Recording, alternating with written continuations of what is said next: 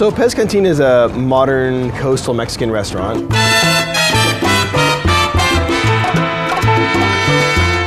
But you know, the food is very authentic Mexican food with maybe techniques or presentations that one might not expect of a Mexican restaurant. Right.